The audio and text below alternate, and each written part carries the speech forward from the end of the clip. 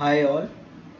Uh, welcome to this channel and this time I'm presenting the topic uh, dynamic memory allocation in RPGLE so yes uh, we can uh, dynamically allocate the memory in heap using the pointers concept.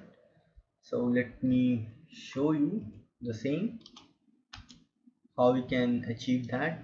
So here you can see this is the variable uh, which is defined based upon a pointer variable. So you can see base keyword is used and the point associated pointer name is ptr now this variable won't get any memory in the storage. So basically because this is the base pointer so it will basically uh, points to the address which is stored in the pointer. And currently when the program starts this pointer contains nothing. That is null. So it won't point to you can say it won't store any address. So at that time since this is not actually referencing to any memory location so it won't actually occupy any memory now how we can do? Now what we can do is we can dynamically allocate the memory in the heap to this pointer variable. So once the uh, memory is allocated to the pointer variable then since the base variable is depend upon the pointer variable. So we can access that memory location using this base variable that is string. Or we can manipulate that uh, memory area. Now you can see how we can allocate that. We can allocate using the percentile alloc function. So here I can allocate the size or uh, how much size I want to allocate to this variable. So I am just for now I am allocating the pointer uh, the size of a string that is 50 minus 40 that is 10 so I'm allocating 10 bytes to it then I'm deallocating the pointer. Again I'm allocating the full size 50 and then I'm deallocating the pointer with operation extender n. Now there is a difference between these two. Here I am not using operation extender n. Here I am using operation extender n. Uh, let me tell you this while debugging the code. Then you will be better understand why I am doing that. Just compile this. Just debug this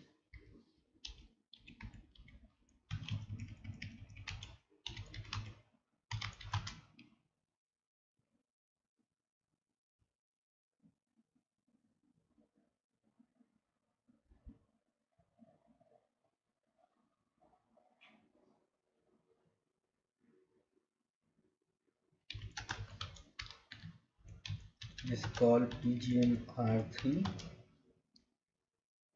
so since this is based upon the pointer and pointers currently have null there is no address stored in the pointer. So this won't point to any this string variable won't point to any memory location in the storage. So pointer not set for location referenced. You can see if I take F11 on this.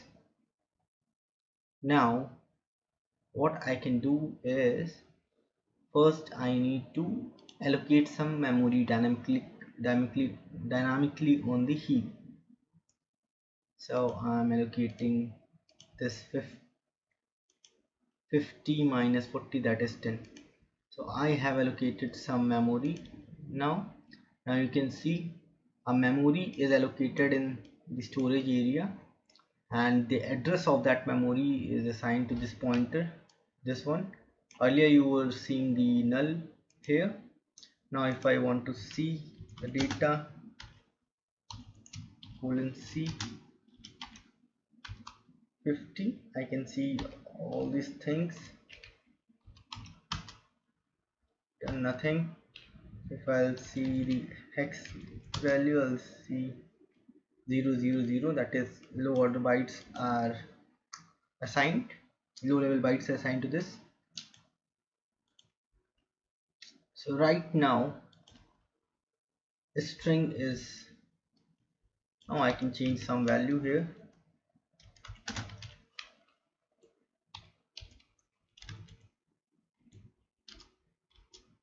So you can see now I can edit or manipulate that memory location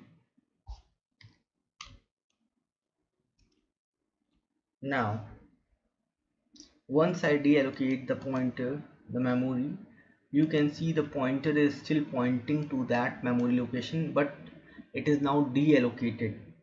So if I want to use this then that would be invalid thing. If I want to use this string variable.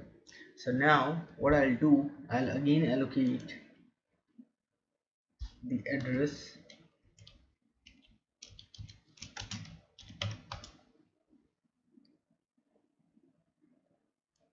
so you can see. I've allocated the memory. Now there's some garbage data there out there. Now once I'm deallocating this using operation extender n you can see the pointer is now initialized to star null. So this is the difference. So if you deallocate with pointer uh, without uh, without using the operation extender n you will see that the pointer is still pointing to the to the same address. And if you try to do some manipulations at the string which is base string on the pointer you'll see you then that would be invalid even if you're able to do this in the program. But that would be invalid basically. So whenever you are deallocating any pointer you will be deallocating with an operation extend so that it becomes null. The pointer becomes null there. So now we'll see again that the uh, string pointer not set for location reference. So you cannot perform any operation now on this string because that is not set for any location reference. So once this pointer is having some address then only you can manipulate that address using this base variable. Else you won't be able to do this. So you can see how I am managing the memory allocation dynamically in my program. So whenever I need that dynamic heap memory in my program to for this particular variable um, I would allocate that memory. And once I don't think that or I think that the work is complete for this and I don't need uh, this variable anywhere in the program later on so I would deallocate the memory which is allocated to this uh, variable. So basically what I need to do is to I need to define a pointer variable and whatever variable I'm taking I just need to base it on that pointer. That is a based pointer variable. So once I make a point uh, make a sim simple variable like data if I make it based on pointer it would become basically uh, now it would become um, variable which is not referencing to, to the any address because this is uh, referencing to the pointer and pointer is contained null no address at right now and it won't get any memory allocation during the program start. So basically we will be allocating using percentile allocate function or deallocating using deallocate function. So this way you have seen that how we can manage the dynamic memory allocation. Only thing you need to do in your program is to base that variable in the to the pointer and de declare a pointer. So this way you can make that variable to allocate memory dynamically. Else if you want make it based pointer variable they always get the memory in the uh, when the program starts. So this way you will be able to do the dynamic memory allocation in RPG that's all I want to uh, share uh, here uh, so that you must have a broad idea on how dynamic memory allocation works. Now you can apply this on a DS on an array on any other variable you want. So the basic concept you must need to understand is the based pointer variable and define a pointer and base that variable which you want that you want to allocate the memory dynamically for that variable you simply base that variable on a pointer. Then allocate the, the size or the memory or the bytes you can say to that variable and perform your work. So that's all in this video. Thank you and have a nice time